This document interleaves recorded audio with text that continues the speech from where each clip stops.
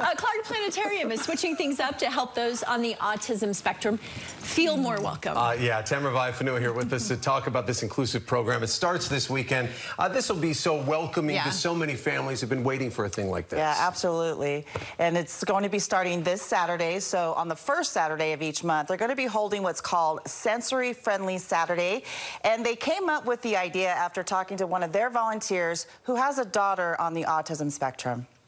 She was telling me what a shame it is that she's never been able to bring her daughter to the planetarium because she's worried about all of the sensory overload. So when families visit the planetarium on Saturday, there are going to be some modifications. No loud noises or bright lights. Anna Swenson, she's the community program supervisor. She says they want all kids to have fun in a safer and calmer environment. Our main beliefs is that science is for everyone, and we want people who maybe would not feel so comfortable being around as many people or around as many loud noises and bright lights to be able to experience it just like anyone else.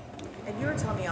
Now, people who use the sensory cool down room will get to use a Minky Couture blanket. There are also sensory backpacks, and they're filled with earmuffs to block out the noise, glasses to reduce light, then fidget toys, as well as a magnifying glass. All of these items have been donated by local businesses.